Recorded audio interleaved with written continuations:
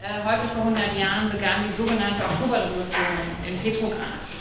Eben das paradigmatische Ereignis, was immer noch der russischen Revolution fast, auch wenn man dann eben dann nach, äh, immer noch Nachsätze dazu bildet, dass es ja vorher schon eine Februarrevolution gegeben hat oder eben auch eine Revolution von 1905. Ähm, wir haben in den ersten beiden Vorträgen für die Leute, die vielleicht nicht dabei waren, äh, einmal einen Vortrag von Gerd Klön zur russischen Revolution äh, gehabt und von Frau, äh, Frau Nikola Spakowski zur chinesischen Revolution. Beide haben quasi unseren äh, also Ringvorlesungstitel äh, ihrerseits interpretiert und haben ganz andere Bögen geschlagen, als auch wir das dann erwartet haben und haben uns damit positiv überrascht. Herr Köhn ist mit seiner seinem Revolutionsvortrag quasi zurück in die Neuzeit gegangen und hat sich erstmal die Kriegsgeschichte der Revolution nochmal vergegenwärtigt, bevor er dann am Ende äh, erst auf die russische Revolution zu sprechen gekommen ist. Äh, Frau Spakowski hat ihrerseits äh, zu China äh, nicht die Kulturrevolution äh, äh, betrachtet, sondern sehr dezidiert gesagt, dass sie diesen Teil der Entwicklung in China erstmal außen vor lässt weil der eben immer sehr stark das Bild der chinesischen Revolution dominiert und sich stattdessen äh, angeschaut, wie im frühen 20. Jahrhundert äh, äh, der Marxismus in China angefangen wurde zu rezipieren und sich dann eher angeschaut, wie das erste revolutionäre Ex Experiment äh, unter Mao, ähm, die sogenannte Yan-Periode äh, zwischen also in den 30er, Anfang der 40er Jahre äh, gestaltet hat, das sehr erfolgreich war. Und da es eben im chinesischen Bürgerkrieg äh, in einer Provinz im, Zent im, Zentrum Chinas ein Projekt entwickeln konnte, was sehr viele Bauern äh, sehr attraktiv fanden und dort neue Perspektiven erhalten haben, äh, wo dann eben die chinesischen Revolutionäre das dann nachher versucht haben, auf das gesamte Land zu übertragen, das eben eine sehr andere Kontextualisierung, andere Interpretationen zuließ, als wenn man sich eben sehr stark auf die Kulturrevolution äh, konzentriert, die eben sehr viel präsenter ist hier äh, in der öffentlichen Wahrnehmung. Äh, Bögen werden heute offensichtlich auch geschlagen, nach, äh, von Lateinamerika nach Afrika. Ähm, da kann man dann immer noch mal auch wieder darauf hinweisen, naja, man fängt immer so gern mit der russischen Revolution an, beziehungsweise der Oktoberrevolution 1917, wenn man heute nach Mexiko schaut. Äh, für die Leute, unter Ihnen Lateinamerika-Experten sind, sind das natürlich Eulen, die man nach Athen trägt. Aber im Endeffekt ist auch die mexikanische Revolution zwischen 1910 und 1920, glaube ich, nicht so sehr im bundesrepublikanischen öffentlichen Bewusstsein verankert, dass man auch hier sagen kann, das ist eben äh, ein revolutionäres Zeitalter, auch jenseits von Russland. Äh, und äh, lohnt sich eben auch der näheren Betrachtung bis in die 60er, 70er, 80er hinein, nachher mit den verschiedenen sozialistischen Projekten in Mexiko, in Kuba und anderswo, die eben dann offensichtlich auch nach Afrika weitergetragen wurden, beziehungsweise hier Verbindungen hergestellt hat. Ähm, was ich Ihnen das, dass ich Ihnen das sage, ist eigentlich äh, vielleicht kein Fauxpas, aber eigentlich unnötig, weil äh, Christine Hatzki uns heute hier sehr viel mehr dazu ähm, berichten wird können als Expertin. Sie ist äh, Professorin ähm, äh, der neuen Geschichte und hat an der Leibniz-Universität Hannover eine Professur für Lateinamerika und äh, karibische Geschichte inne und äh, ist gleichzeitig auch Sprecherin das an der Leibniz-Universität ansässigen Center for Atlantic and Global Studies.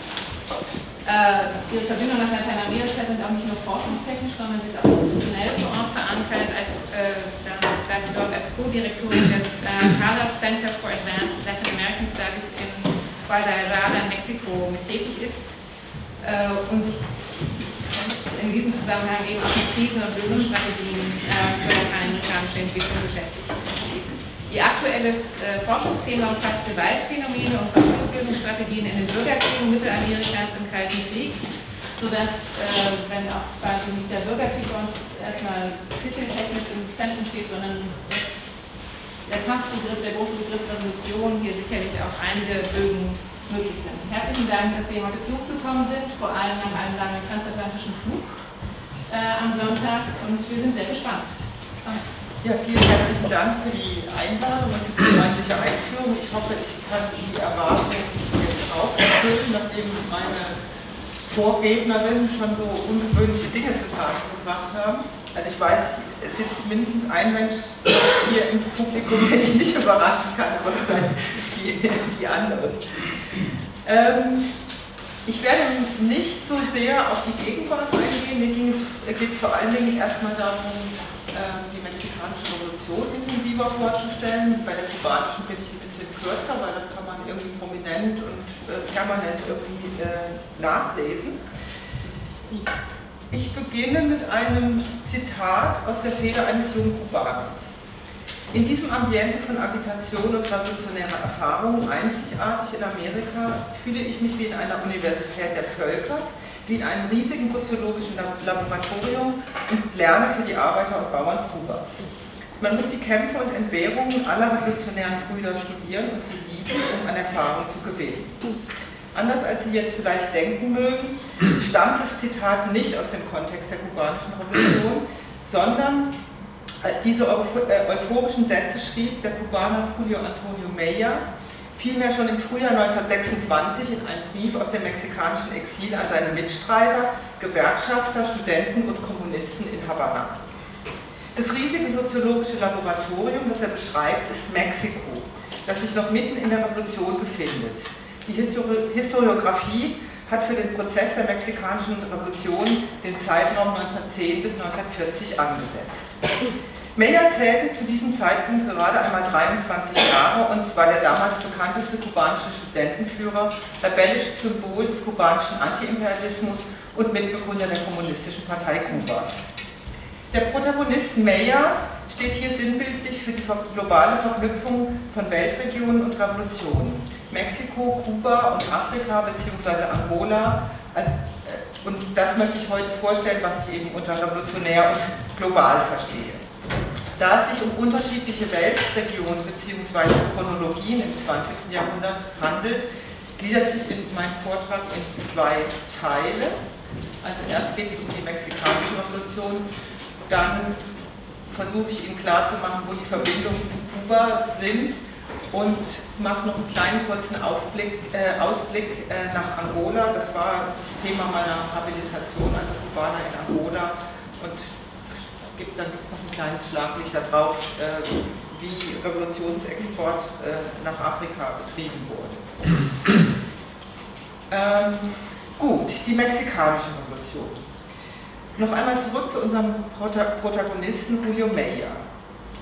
Wenige Tage vor diesem Brief an seine Genossen und Mitstreiter schrieb, hatte er durch die mediale Inszenierung eines spektakulären Hungerstreiks kontinentale Berühmtheit erlangt und seine Freilassung aus einem Gefängnis in Havanna erwirkt. Der damalige Präsident Kubas, Gerardo Machado, versuchte die radikale nationalistische und kommunistische Oppositionsbewegung mundtot zu machen und mit Meyer ihren bedeutendsten Exponenten von der Bühne der nationalen Politik zu verbannen. Preis für Meyers Freilassung war das Exil. Der Präsident des revolutionären Mexiko, Plutarco Elias Calles, war bereit, Meyer politisches Asyl zu gewähren und die revolutionäre Künstlergewerkschaft Mexikos, die von Avantgarde-Künstlern, Wandmalern und Mitgliedern der Kommunistischen Partei Mexikos angeführt wurde, nahm den jungen kubanischen Genossen mit offenen Armen in ihren Reihen auf. So, und jetzt habe ich Ihnen aus Costa Rica ein Plakat aus der Universität mitgebracht. Da gibt es nämlich auch einen Vortragszyklus zur Revolution. Ich habe mir, hab mir erlaubt, das Plakat zu entfernen und äh, fand das schön, weil es ja hier tatsächlich in diesen Breiten eigentlich immer nur um die russische Revolution geht. Und ähm, dieses Gerippe ist ja das berühmteste Gerippe Mexikos, das ist die Katrina, das ist eigentlich eine Karikatur aus dem Jahre 1910, das ist der Ursprung und sie ist weiter ausgeschmückt und ausgestaltet worden. Das José Guadalupe Posada ist berühmt geworden mit seinen äh, Karikaturen der kleinen, der Gerippe, die sich in allen möglichen Lebenslagen befinden. An die berühmteste ist äh, eben die Katrina, eine Verballhornung des mexikanischen Bürgertums, eine Kritik auf die, auf die Zustände des vorrevolutionären Mexiko. Und das fand ich jetzt hier besonders schön, dass Katrina also den Lenin-Kopf irgendwie ganz stolz in der, in der Hand hält. Ich gehe gehe auch gleich darauf ein Sie werden verstehen, warum man in Lateinamerika das selbstbewusst so interpretieren kann. Mexiko hatte sich 1917 eine für Lateinamerika, ja sogar weltweit einzigartige Verfassung gegeben. Einzigartig insbesondere hinsichtlich des Aufbaus eines nationalen Bildungssystems, einer fortschrittlichen Arbeitsgesetzgebung mit 8-Stunden-Tag, Mutterschutzgesetz und vielem mehr, sowie der Betonung der sozialen Funktion des Eigentums. Nationalisierung von Bodenschätzen, äh, äh, von, von Land und äh, der Gewässer. Die Verfassung hatte trotzdem einen liberalen Hintergrund und ein kapitalistischer Entwicklungsweg wurde auch im revolutionären Mexiko nie grundsätzlich in Frage gestellt. Trotzdem verteufelte die US-Regierung das, was in ihrem südlichen Nachbarland geschah, als bolschewistisch, subversiv und kriminell. Aber die Mehrheit der Lateinamerikaner fühlte sich wie Meyer von dieser Revolution beflügelt. Man sympathisierte mit der, mit der mexikanischen Bevölkerung, den Unterschichten, Bauern und Arbeitern. Die Revolution weckte auf dem ganzen Kontinent den Wunsch nach gesellschaftlicher Veränderung und der Durchsetzung lateinamerikanischer, äh, lateinamerikanischer Interessen gegenüber der imperialistischen Hegemonialmacht USA die gestärkt aus dem Ersten Weltkrieg hervorgegangen war und in den 1920er Jahren auf dem Kontinent noch mehr Einfluss zu nehmen versuchte, wovon besonders Mexiko, die Karibik und Zentralamerika betroffen waren. Zum Hintergrund der Revolution, das, das fast 30 Jahre währende Regime von General Porfirio Diaz ähm, hatte die Voraussetzungen geschaffen, äh, die äh, in die Revolution des Jahres 1910 mündeten. Eine Ausdehnung und Stärkung des Nationalstaats einhergeht mit einer politischen und administrativen Zentralisierung, einem beschleunigten Aufbau der Infra Infrastruktur. Das alles ging aber auf Kosten traditioneller, traditioneller und lo lokaler und regionaler Selbstverwaltung und barg langfristig ein enormes gesellschaftliches äh, Konfliktpotenzial. Die Modernisierung, Kommerzialisierung und Exportorientierung der landwirtschaftlichen Produktion, die Porfirio Diaz vorangetrieben hat, hatte, rief äh, eine provozierte eine Agrarkrise. Und hier sehen wir nochmal, ich habe eine Karte mitgebracht, die, Eisenbahnlinien um äh, 1910. Also das geht alles auf die letzten äh, 30 Jahre äh, unter der Herrschaft Porfirio Diaz zurück, dass man also diesen Raum, diesen riesigen Raum Mexikos infrastrukturell erschlossen hat. Ähm, einfach nur so, um die, um die Größenverhältnisse Ihnen klar zu machen, die Bundesrepublik geht etwa 5,5 Mal passt die äh, äh, in Mexiko rein. Also das ist das Größenverhältnis. Ähm, zu diesen Krisen, die die Modernisierung des Regimes hervorrief, kam die zunehmende ökonomische Abhängigkeit von ausländischen Investitionen in Bergbau, Erdölförderung, Bankenwesen und Leichtindustrie, und zwar vor allem von äh, Groß, äh, britischem Kapital, französischem und dann zunehmend auch äh, von den USA. Letztendlicher politischer Auslöser für die Revolution war aber die innenpolitische Kritik am autokratischen System Diaz, anlässlich der Präsidentschaftswahl des Jahres 1910 und äh, die von Oppositionellen des bürgerlichen Lagers aufgestellte Forderung nach freien Wahlen und keiner Wiederwahl von Präsident Diaz. Es ist ein Mural in Mexiko-Stadt, der von Juan O'Gorman, der, der Leitspruch der Revolution war Sufragio effectivo no reelección, ne? also äh, positives Wahlrecht oder, und, und keine Wiederwahl ähm, für ähm, Diaz.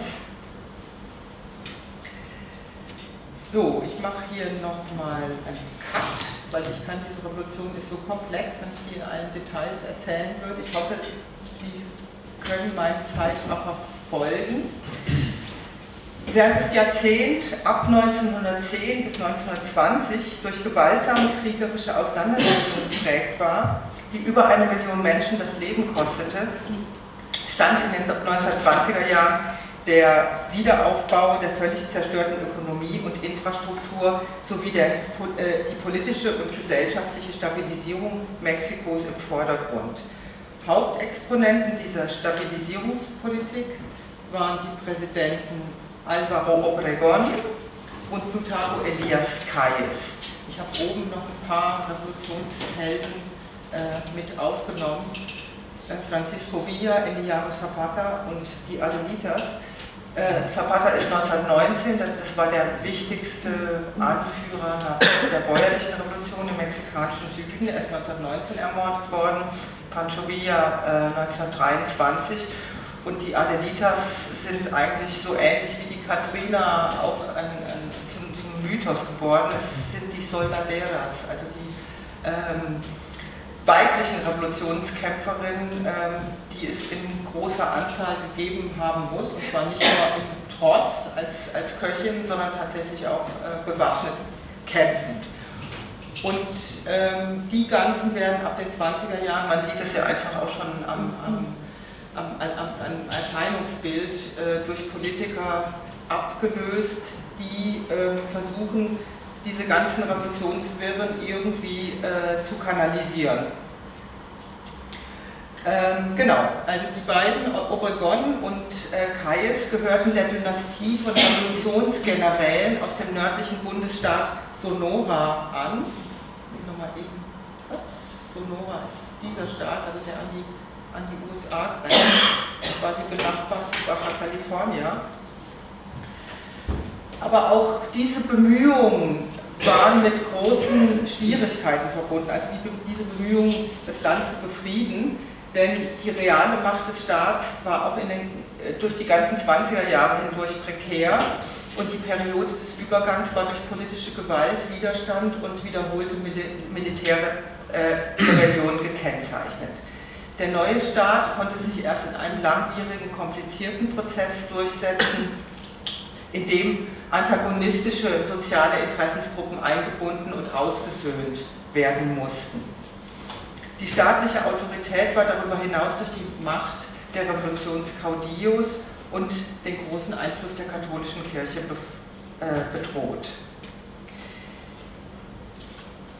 Die oftmals plakative antiimperialistische Rhetorik der Revolutionsregierung konnte nicht darüber hinwegtäuschen, dass die Abhängigkeit von ausländischen Investitionen im Laufe der 20er Jahre zunahm und das Überleben Mexikos unter anderem vom politischen Willen der USA abhing. Die Betonung nationaler Souveränität und die Nationalisierungsbestrebungen der 1920er Jahre, die sich unter anderem gegen das Eigentum von US-amerikanischen Erdölgesellschaften richteten, führten mehrfach zu ernsthaften Unstimmigkeiten mit der US-Regierung. So erlangte Mexiko die diplomatische Anerkennung durch die USA erst nach weitgehenden Zugeständnissen, insbesondere hinsichtlich der Entschädigung revolutionsbedingter Enteignungen und des Verfassungsartikels 27, der die Neuordnung des landwirtschaftlichen Grundbesitzes regelte und, die und ebenso die unveräußerlichen Eigentumsrechte der Nation an ihren Bodenschätzen.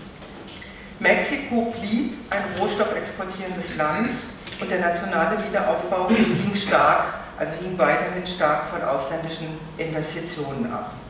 Der Großgrundbesitz blieb trotz der in der Verfassung äh, festgeschriebenen Agrarreform zunächst vorherrschend. Erst während der Amtszeit von Lázaro Cárdenas, ups, das ist der Herr ganz rechts, äh, wurde Land im großen Stil verteilt und Cárdenas war auch der Präsident, der 1938 die ausländischen Erdölkonzerne, das waren vor allem britische und US-amerikanische, enteignet hat und die Erdölförderung nationalisiert hat. Das Ganze hat in großen Zügen bis heute Bestand, auch wenn der Konzern gerade Teil privatisiert wird, in Häppchen privatisiert ist, weil er komplett äh, veraltet ist. Auch. So, aber trotzdem hatte die Revolution auch kurzfristig tiefgreifende soziale Transformationen hervorgerufen. Die Legitimität der Großgrundbesitzer war zerstört. Die Selbstverständlichkeit, mit der sie ganze Regionen beherrscht hatten, verschwand. Viele dieser Veränderungen waren jedoch weder geplant noch verliefen sie gewaltlos. Sie waren vielmehr das Ergebnis von Konflikten und Widersprüchen, die ich Ihnen jetzt alle erspart habe, um sie nicht zu verwirren. In zwei Bereichen gab es allerdings ganz bewusste, von der neuen Elite konsequent durchgeführte Veränderungen. Der Antiklerikalismus, die radikale Bekämpfung der katholischen Kirche und der Aufbau eines landesweiten staatlichen Erziehungswesens. Ein paar Bemerkungen zur Bewertung dieser Revolution. Sie wurde im Verlauf des 20. und 21. Jahrhunderts ganz unterschiedlich interpretiert und ihre Bewertung und die Bewertung ihrer historischen Bedeutung mehrfach revidiert. In frühen Interpretationen wurde der revolutionäre äh, Charakter, der unter Beteiligung der bäuerlichen Bevölkerung zu einem spürbaren Bruch mit dem vorangegangenen System geführt hatte, nicht angezweifelt. Die Legitimität des Staats als Erbe der Revolution blieb weitgehend unangetastet. Erst in den 1970er und 1980er Jahren wurde diese Sichtweise in Frage gestellt. Und zwar unter dem Eindruck der Repression des mexikanischen Staats gegenüber der studentischen Protestbewegung der 1960er Jahre. Historiker und Politiker versuchten jetzt, die Revolution auf eine große Rebellion zu reduzieren, geprägt durch eine Abfolge von chaotischen Ereignissen, karrieristischen Episoden, angeführt von unzufriedenen Mittelschichten, äh, äh, angeführt von un, unzufriedenen Mittelschichten. In jüngerer Zeit kam es dann wieder zu einer deutlichen Distanzierung von dieser geschichtsrevisionistischen Tendenz. Die meisten Darstellungen bewerten sie als eine authentische soziale Revolution, die unter breiter Beteiligung insbesondere von bäuerlichen Schichten stattgefunden hatte und die Fundamente des alten Staates nach, äh, nachhaltig erschüttert hatte. Die Kontinuitäten mit dem Diaz-Regime etwa die Weiterentwicklung der kapitalistischen Ökonomie oder den Aufbau eines modernen Staatswesens, wurden dabei dennoch nicht geleugnet.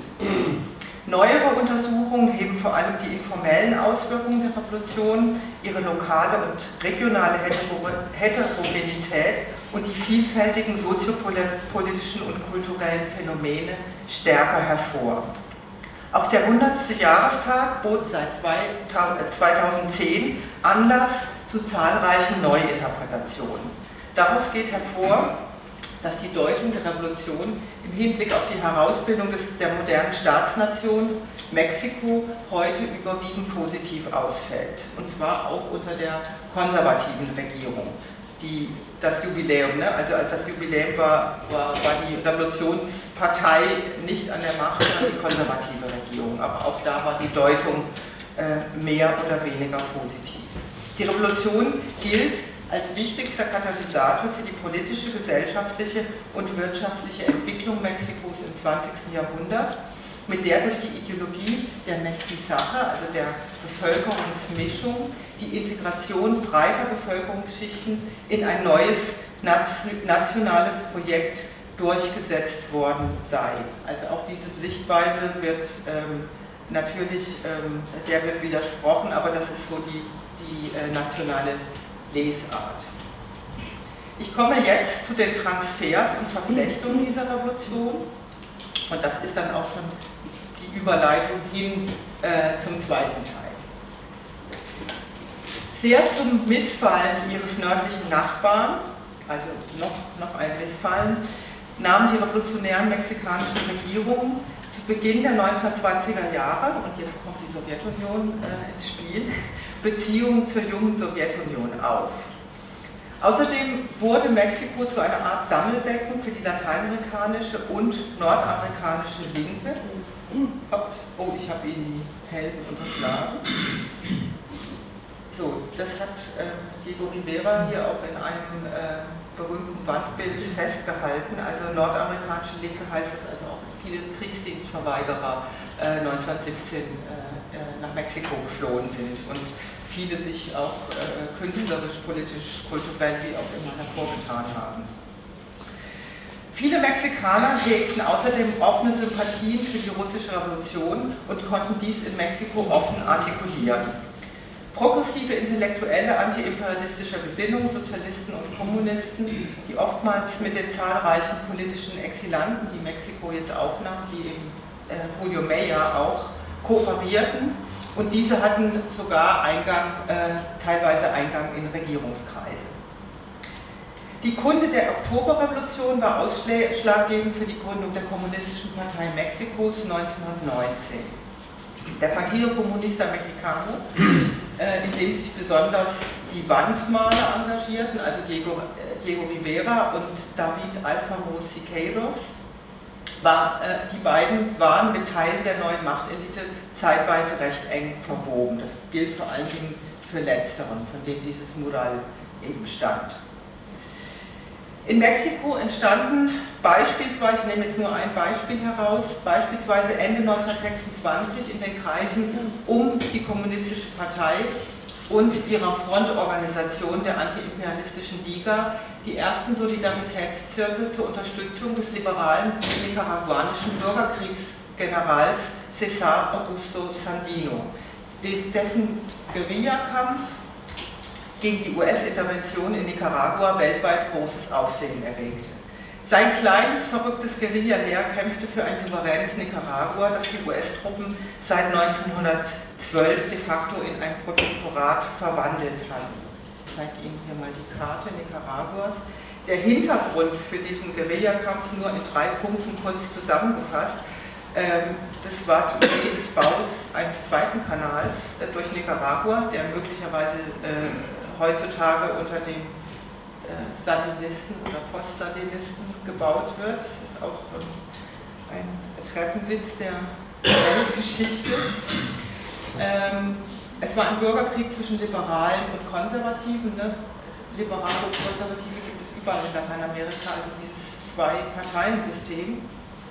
Die US Marines intervenierten in diesem Bürgerkrieg zur Unterstützung der Konservativen und Mexikos Regierung unterstützte die Liberalen mit Waffen und die Linke äh, in Mexiko unterstützte den linken Liberalen Sandino. Und ich möchte hieran ein paar Charakteristika lateinamerikanischer Revolutionen kontrollieren, die dann eben auch direkt in den Teil 2 des Vortrags sind dass der bewaffnete Kampf Sandinos gegen die US-Besatzung Sympathien bis weit in bürgerlich-liberale Kreise hinein hervorrief, ist nicht verwunderlich, denn die Tradition der bewaffneten Aufstandsgewalt gegen ungerechte Behandlung geht in Lateinamerika auf die Unabhängigkeitsrevolution des frühen 19. Jahrhunderts zurück und, wenn man will, dann auch sogar noch weiter. Also, äh, die Freiheit von der 300-jährigen Umklammerung durch die spanische Monarchie wurde fast überall in bewaffneten Kämpfen errungen. Das wichtigste Symbol ist bis heute Simón Bolívar, der bedeutendste General der Unabhängigkeit Lateinamerikas. Und diese bewaffnete Tradition wurde zum Beispiel auch in der mexikanischen Revolution fortgeführt. Was den Kampf des Guerillaheers Sandinos angeht, so waren auch viele mexikanische und lateinamerikanische Intellektuelle davon überzeugt, dass die Gewalt des Imperialismus nur mit bewaffneter Gegengewalt beantwortet werden könne. Der bereits mehrfach erwähnte Kubaner Meyer war Mitbegründer des Solidaritätskomitees für Sandino, Manos Fuera de Nicaragua, also Hände weg von Nicaragua. Und er entschloss sich, inspiriert durch den Guerillakrieg Sandinos, 1928 auch in Kuba eine bewaffnete Front aufzubauen, um Kuba von der Machado-Diktatur, also dem Diktator, den ihn, der ihn ins Exil geschickt hat, äh, und von der imperialistischen Hegemonie äh, zu befreien. So, und jetzt komme ich, damit komme ich auch zum zweiten Teil. Man sieht jetzt äh, linker Hand Julio Antonio Meyer, quasi in der Dynastie kubanischer Revolutionäre. Das Unternehmen der bewaffneten Expedition von Mexiko nach Kuba wurde durch die Ermordung Meyers im Januar 1929 vereitelt, wurde aber 1956 von Fidel Castro, Ernesto Che Guevara und 80 Exilkubanern realisiert. Ob es hier eine direkte Bezugnahme auf die von Meyer geplante Expedition gab, ist nicht geklärt. Was allerdings klar ist, äh, äh, dass ähm, dass der politische Protagonist Meyer nach der Revolution von 1959 nicht nur eine Brücke zwischen den alten Revolutionären der 1920er Jahre und den neuen der 1950er Jahre herstellen sollte, sondern auch die erfundene Kontinuität der kommunistischen Partei als revolutionäres Element. Ne, das sieht man hier auf diesem Plakat ganz deutlich. Ähm, dazu nur ganz kurz, weil ich hier von erfundener Kontinuität spreche. Ähm, Meyer hat eine offizielle Biografie und in dieser offiziellen Lesart ähm, wurde immer verschwiegen, dass er wegen Insubordination vier Monate nachdem er die Partei 1925 gegründet hatte, wieder ausgeschlossen worden war. Und ähm, dass er insgesamt, also auch als er im mexikanischen Exil war, bis zu seiner Ermordung ein, ein sehr äh, unbequemes äh, Mitglied äh, dieser Partei war. Äh, und äh, ja, und nicht zuletzt stand die Kommunistische Partei Kubas der revolutionären Bewegung Castros sehr skeptisch gegenüber und unterstützte den Guerillakampf zunächst nicht. Die Kommunistische Partei konnte sich erst nach, nach 59, äh, wurde erst nach 1959 in die Revolution eingegliedert und erst 1965 zur Einheits- und Staatspartei unter dem Vorsitz von Fidel Castro. Die Ursachen der Revolution äh, reichen weit in die Geschichte Kubas zurück. Unmittelbarer Auslöser war jedoch der Putsch Fulgencio Batistas im Jahre 1952. Das Schreckgespenst der Batista-Diktatur, das bis heute präsent ist, entwickelte sich aber erst, als Batista mit dem Putsch die Verfassung wieder abschaffte und eine Diktatur errichtete. Die wirtschaftliche Stagnation der Nachkriegsära, aber auch Korruption, Gewalt und Staatsterror ebneten Castro und seiner politisch-militärischen Bewegung den Weg. Mit seiner berühmt gewordenen Geschichte, äh, Rede Die Geschichte wird mich freisprechen, mit der er sich anlässlich des gescheiterten Anschlags auf die Moncada-Kaserne am 26. Juli 1953 verteidigte, wurde der junge Anwalt zur Symbolfigur für die Erneuerung der Nation. Das darin angekündigte Reformprogramm bezog sich im Wesentlichen auf die 1940er Verfassung, die unter der ersten demokratischen Regierung Batistas verabschiedet worden war und die sich, und das ist nicht verwunderlich, an, der, äh, an den Standards der mexikanischen Verfassung orientiert.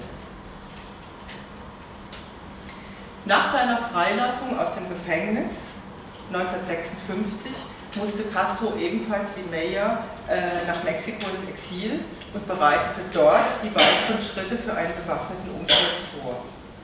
Ende November 1956 starteten zwei, 82 Mann in der Yacht Granma von Tuxpan an der Mex mexikanischen Golfküste, unter ihnen der Argentinier Ernesto Guevara und Fidels jüngerer Bruder Raúl und landeten drei Tage später im Osten Kubas.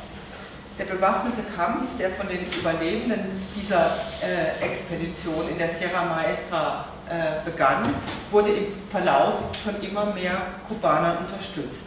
Es bildeten sich städtische Widerstandsgruppen von Arbeitern und Studenten, aber auch starken bürgerlichen und nationalistischen Strömungen. Nur die Kommunistische Partei stand unter anderem auch aufgrund der Vorgaben aus Moskau dem bewaffneten Kampf skeptisch gegenüber. Die Revolution, die am 1. Januar 1959 schließlich die Herrschaft Batistas beendete, wurde weder durch eine Partei noch sonst eine nennenswerte Organisation getragen. Dadurch, dass sie in keinen Bürgerkrieg mündete, Infrastruktur und Ökonomie weitgehend äh, unzerstört blieben, hatte die neue Führung viel zu verteilen. Mieten, Strompreise und Telefongebühren wurden gesenkt und die Löhne teilweise erhöht. Eine Agrarreform, die in verschiedenen Etappen im Laufe der 1960er Jahre äh, durchgeführt wurde, beschnitt Latifundien und brachliegendes Land wurde nationalisiert oder an Kleinbauern verteilt. Dies rief eine enorme populäre Begeisterung hervor. Es zeichnete sich aber äh, bald ein Konflikt mit all denjenigen ab, deren Privilegien dadurch beschnitten wurden. Ups. Kuba in der mit äh, Lage in der Region und das ist Havanna 1959. Zentrale Aufgabe in diesem ersten Jahrzehnt der Revolution war der Aufbau einer Massenbasis und die gleichzeitige Institutionalisierung der Revolution. Die revolutionäre Führung versuchte von Anfang an, dem Sozialismus eine, eine kubanische Prägung zu geben, visionärer Führungsstil, die Massenmobilisierung, wie wir es hier auf dem Foto sehen, und äh, der Glaube an äh, eine revolutionäre Bestimmung, eine Avantgarde-Rolle des kubanischen Volkes. Entscheidend hierfür war die Schaffung des neuen Menschen, die besonders Ernesto Guevara verfocht. Die wichtigsten Errungenschaften dieser Jahre sind auf äh, kulturellen und sozialen Terrain zu verzeichnen. Eine äh, äh, Alphabetisierungskampagne, die 1961 den äh, Analphabetismus äh, beseitigte und der Aufbau eines umfassenden Bildungssystems im Verlauf der 60er und der 1970er Jahre. Ähnlich anhaltend waren die Erfolge im medizinischen Bereich, also durch den Aufbau eines äh, umfassenden Gesundheitswesens. Und dieses soziokulturelle Programm, das in seiner Umsetzung auf die Bedürfnisse von postkolonialen Gesellschaften abgestimmt war, machte Kuba dann letztendlich so attraktiv für den Revolutionsexport. Die sozialistischen Experimente auf ökonomischer Ebene liefen dagegen nicht erfolgreich. Die Strategie der nachholenden Entwicklung durch Industrialisierung und eine Diversifizierung der Landwirtschaft scheiterte und äh, verursachte letztendlich Probleme, die bis heute ungelöst sind. Aber die Revolution beinhaltete nicht nur das das Experiment einer radikalen wirtschaftlichen und gesellschaftlichen Transformation. Es war auch ein Versuch, innerhalb der international polarisierten Konstellation des Kalten Kriegs, mit der Invasion in der Schweinebucht und der Raketenkrise wurde der Kalte Krieg in Lateinamerika zum heißen Krieg. Also innerhalb dieser Konstellation, und Kuba war im Kreuzfeuer, versuchten äh, die kubanischen Revolutionäre eine souveräne Außenpolitik mit eigenen Interessen und Zielsetzungen zu verfolgen. Die Internationalisierung der Revolution oder eben den Revolutionsexport. Die Insel entwickelte sich zwischen 1960 und 1980 zu einem globalen Akteur, dessen internationale Politik Dimensionen annahm, die für kleine Länder absolut außergewöhnlich sind. Von Anfang an waren diesen außenpolitischen Ambitionen aber aufgrund der Politik der US-Regierung sehr starke, äh, sehr enge Grenzen gesetzt, mit dem Ausschluss Kubas aus der Organisation amerikanischer Staaten 1962 und dem darauffolgenden Abbruch der diplomatischen und Handelsbeziehungen fast aller lateinamerikanischen Regierungen außer Mexiko war der unmittelbare Aktionsraum der lateinamerikanische Kontinent für den Revolutionsexport blockiert. Aber da sich Ideen und Gedanken bekanntermaßen nicht blockieren und kontrollieren lassen, inspirierte das revolutionäre Beispiel in den nächsten Jahrzehnten trotzdem zahlreiche soziale, revolutionäre und nationalistische Bewegungen in Lateinamerika, und zwar in fast allen Ländern des Kontinents und wie wir wissen, ja auch darüber hinaus. Ungeachtet der politischen und diplomatischen Blockade durch die USA unterstützte die kubanische Regierung stets Guerilla-Bewegungen, Revolutionen und progressive Regierungen. Durch das schon 1960 erlassene und trotz Lockerungen in den Jahren 2015-16 weiter bestehende Handelsembargo wurde Kuba faktisch in die Arme der Sowjetunion getrieben. Die Revolutionsregierung beschleunigte den Ausbau ihrer politischen und wirtschaftlichen Beziehungen mit der Sowjetunion und den Ostblockstaaten, bewahrte sich aber auch hier in der Außenpolitik trotzdem Eigenständigkeit und betrieb Revolutionsexport. Kubanische Außenpolitik war die Strategie des Internationalismus und der internationalen Solidarität. Im Grunde eine Erfindung von Guevara und Castro, die sich aber aus allen revolutionären Ideologien des 19. und 20. Jahrhunderts zusammensetzte. Dazu gehörten auch die erwähnten bewaffneten Aufstandstraditionen in Lateinamerika. Entscheidenden Einfluss auf die Entwicklung des kubanischen Internationalismus hatten marxistische Theoretiker und Praktiker des 19. und 20. Jahrhunderts, etwa der von Marx und Engels 1848 im Manifest der Kommunistischen Partei propagierte proletarische Internationalismus. Noch entscheidender war aber Lenins Imperialismustheorie. Mit der Gründung der Kommunistischen Internationale im Jahre 1919 sollte der Imperialismus weltweit überwunden, die Weltrevolution organisiert und die russische Revolution auf globaler Ebene weitergeführt werden. Nach Auffassung von Lenin, Lenins engsten Vertrauten dem Theoretiker und Revolutionär Leo Trotzki hatte die Revolution nur dann eine langfristige Überlebenschance, wenn sie sich permanent weiterentwickeln würde und vor allem weltweit durchsetzen ließe.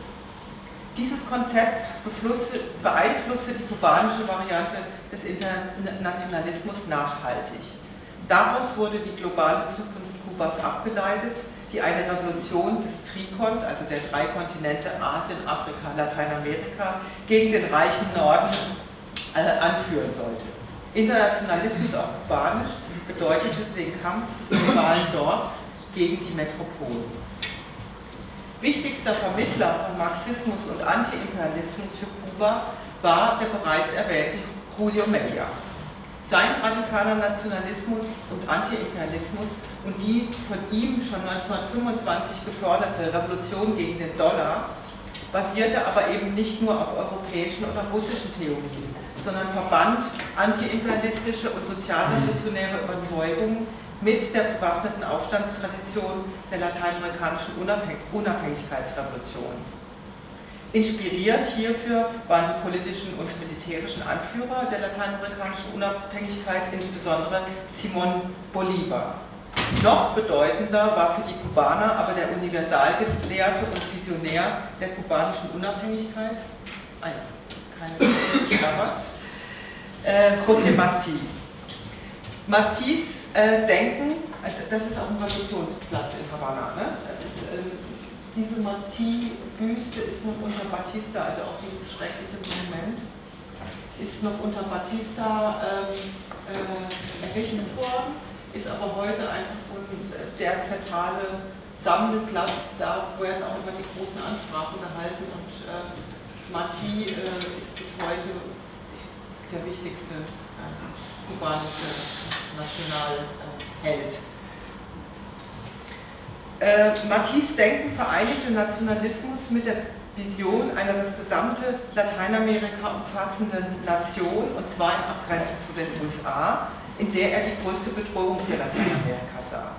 Durch sein Engagement mit Feder, Feder und Machete für die Unabhängigkeit Kubas wurde er zur Verkörperung, Verkörperung des freien Kuba und zum Archetypen eines jeden, jeden kubanischen Revolutionärs. Intelligent, rhetorisch brillant, über die nationalen Grenzen hinaus denkend und mit der Waffe in der Hand kämpfend. Die Revolutionäre von 1959 stellten sich ganz bewusst in diese Tradition und erhoben Marti deshalb endgültig zum nationalen Mythos.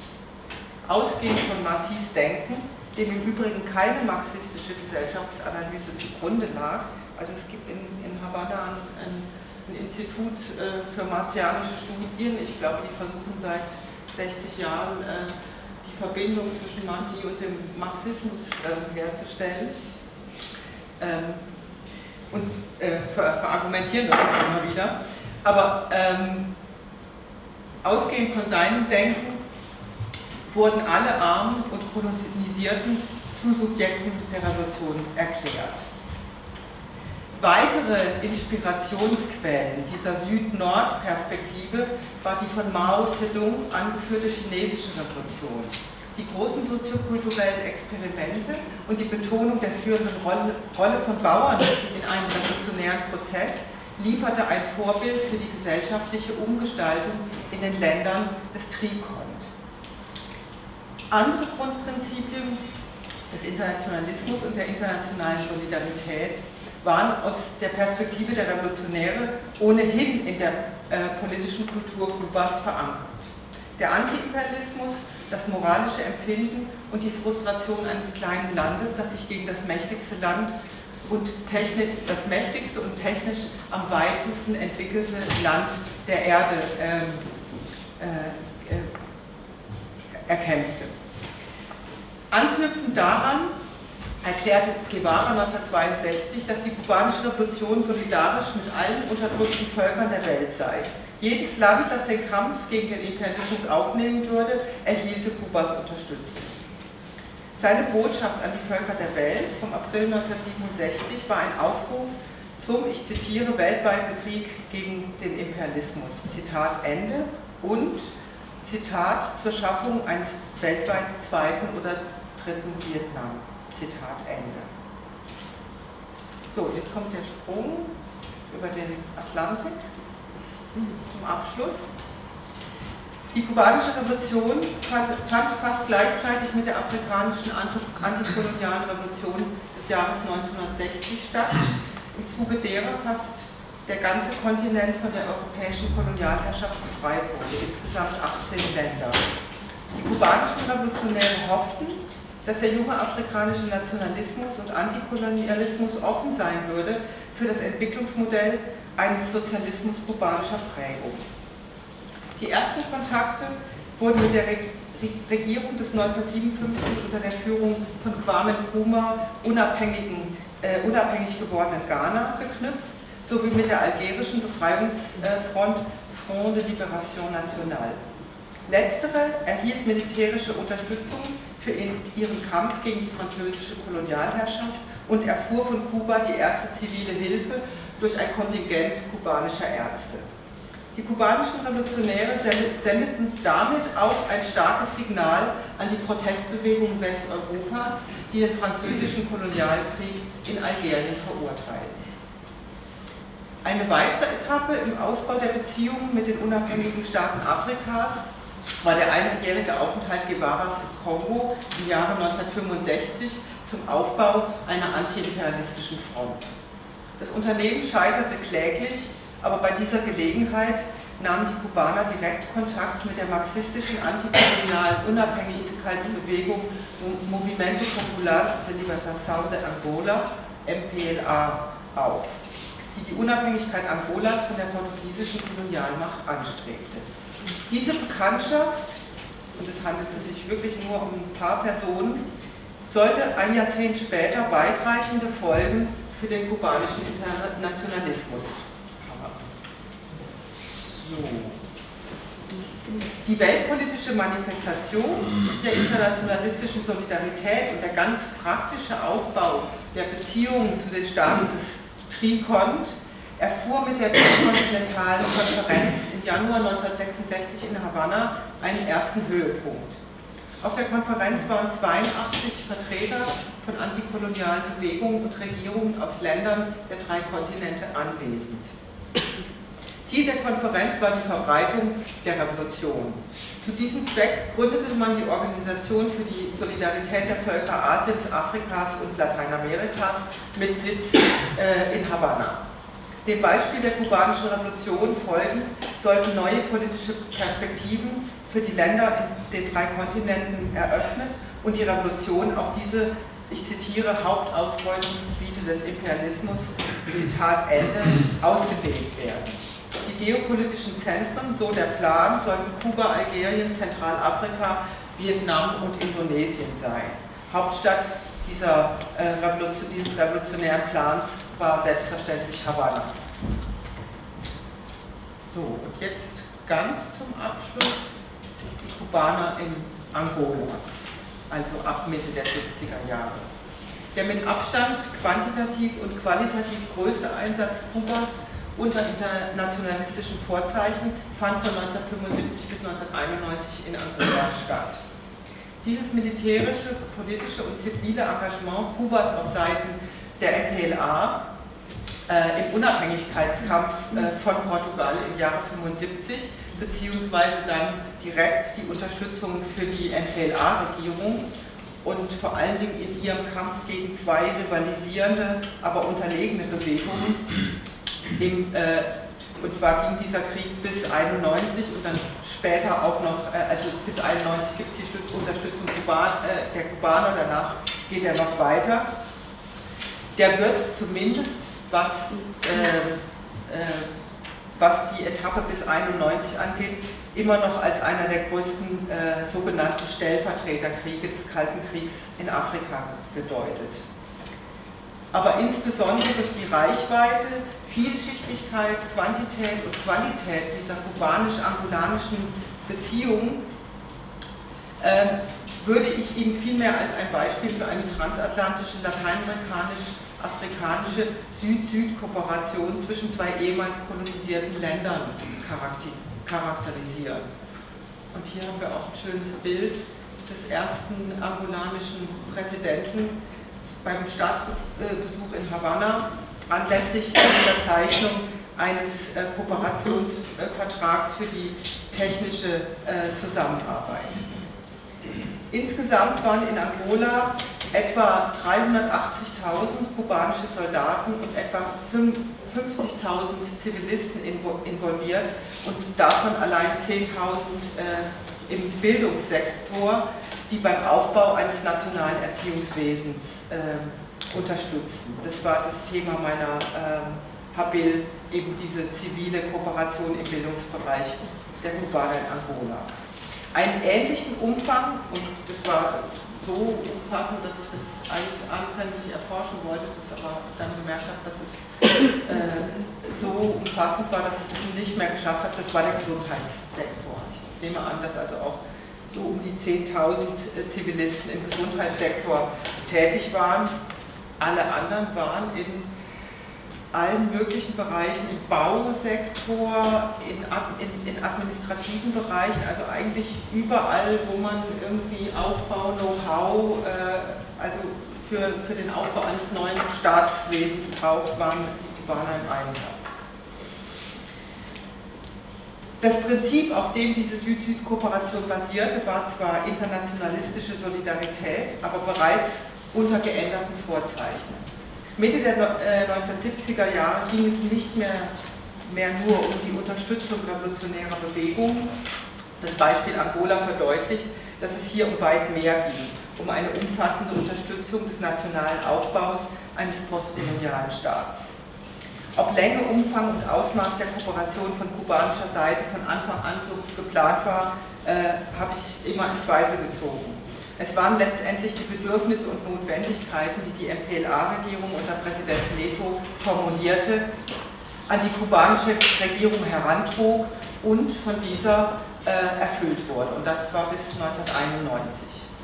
Was zumindest in den ersten Jahren klar war, und die umfangreiche Unterstützung erklärt, sind die politischen Ziele der MPLA, einen sozialistischen Entwicklungsweg für Angola einzuschlagen, und zwar unabhängig von der Sowjetunion, weshalb Kuba hier ein idealer Partner war und aufgrund seiner internationalistischen Außenpolitik eben auch tatkräftig zum militärischen und zivilen Einsatz zur Verfügung stand und natürlich in der Lage war, seine Bevölkerung äh, massivst äh, zu mobilisieren. Ähm, nichtsdestotrotz erhielt auch Angola umfangreiche sowjetische Unterstützung, vor allen Dingen Waffenlieferungen. Und abgesehen davon, ne, wir wollen die Sowjetunion nicht ganz äh, da rauslassen, äh, war Kuba sowieso ab Beginn der 1970er Jahre fast komplett wirtschaftlich von den Subventionen der Sowjetunion abhängig und hatte sich ähm, innenpolitisch den Standards des realen Sozialismus angeglichen. Die Autonomie die man sich unter der zunehmenden Dominanz des sowjetischen Gesellschaftsmodells vorbehielt, war aber eben solche unabhängigen Projekte wie Angola mittels internationalistischer Solidarität zu unterstützen. Ähnliches, aber in geringerem Umfang leisteten Kubaner auch in Mosambik oder in Benin, in Zimbabwe und vielen weiteren afrikanischen Ländern. Nur der militärische Einsatz der Kubaner in Äthiopien hatte, hatte offenbar andere Charakteristika und wurde augenscheinlich weitaus mehr von der Sowjetunion gelenkt. In Lateinamerika leistete Kuba in dieser Zeit vor allem tatkräftige Unterstützung für die Revolution in Nicaragua ab 1979, also diejenigen, die sich dann auf den vorhin erwähnten Sandino beriefen und versuchten, einen dritten Weg Nicaraguas gegen den US-Imperialismus einzuschlagen. So, ich glaube, ich bin sowieso schon, schon viel zu lang gesprochen. Ich höre mal hier auf und wir können ja vielleicht noch das eine oder andere in der Fragerunde klären. Vielen Dank für Ihre Geduld.